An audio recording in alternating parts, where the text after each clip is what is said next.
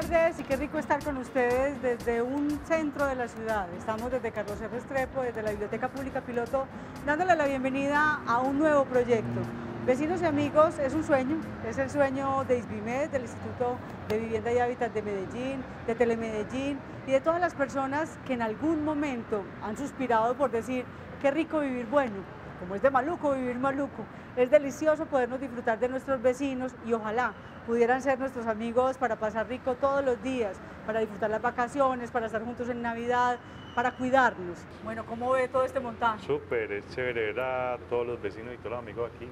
Si es posible que seamos amigos. Yo creo que sí, yo creo que es parte de la naturaleza de cualquier ser humano, humano tener una vida en comunidad y es para, primero tener la vida en comunidad, saber respetarnos y llegar a ser amigos de verdad del vecino. Eh, lo que nosotros pensamos es que tristemente, eh, para uno comportarse bien tiene que existir una ley.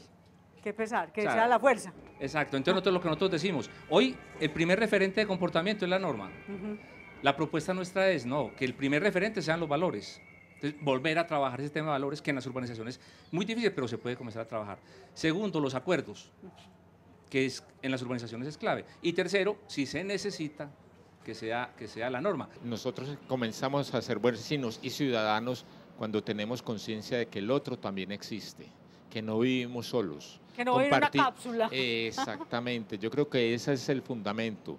Muchas veces nosotros vamos atropellando a los demás o vamos solos, ¿no? Tenemos que tomar conciencia de que los demás existen.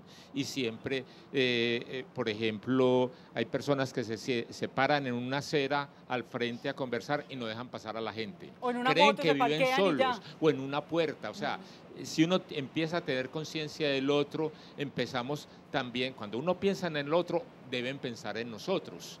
Y entonces empieza a ser recíproco. En la medida que uno empieza a dar, empieza a recibir. Gente, grandes amigos. Yo sueño en nuestra comunidad que en estos cuatro años mejoremos el tema de convivencia, compartamos, eh, que estos niños crezcan todos los días con, un espíritu de responsabilidad por el barrio, que les duela el barrio, que nuestros eh, vecinos y amigos construyamos juntos la huerta que soñamos.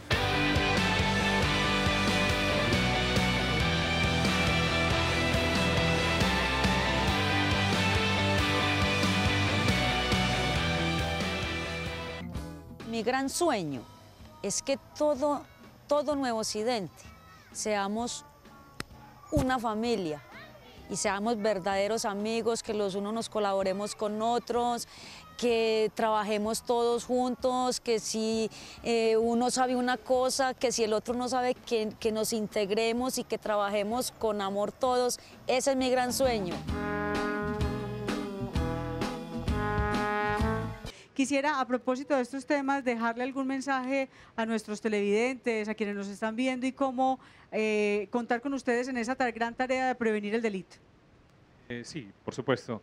Eh, prevenir, digamos que es el arte de vivir, ¿no? Uno tiene que siempre prever lo que pueda, pueda ocurrir. Y, y, la convivencia, digamos, es el arte de soportarnos unos a otros, de superar el conflicto, de construir una mejor sociedad, de tener progreso, no solamente en toda la ciudad, sino el progreso comienza por cada familia, por cada persona.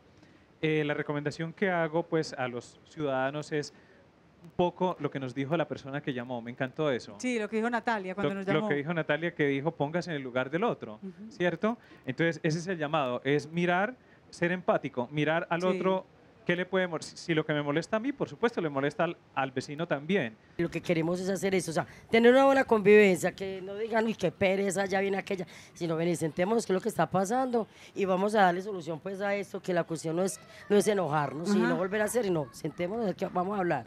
Perfecto, es una propuesta para ustedes en épocas de fiestas, de no fiestas, en cualquier momento en que vivimos en nuestro barrio, en nuestra urbanización, es el momento de saludar al otro, de mirarlo a los ojos, de decirle gracias, de saludarlo, de permiso, perdón. Es importante, eso no nos quita nada y nos hace mejores personas. Primero, me quiero yo, quiero a los demás y quiero a quienes me rodean. Es una propuesta que parece tan simple y nos da tanta lidia hacerla que si la hacemos ganamos mucho. A ustedes felicitaciones por ser buenas vecinas, por tener esos liderazgos y a ustedes por trabajar con tanta pasión y gracias a ustedes por estar aquí en Telemedellín porque aquí te ves. Gracias por ser parte de vecinos y amigos.